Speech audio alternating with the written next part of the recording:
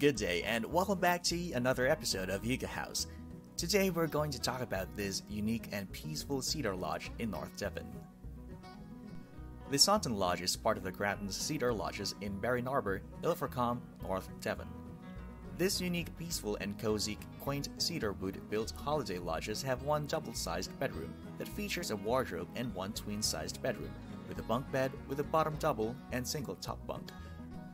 A bathroom with an electric shower, open floor plan living space that features a modern kitchen, dining area, and lounge.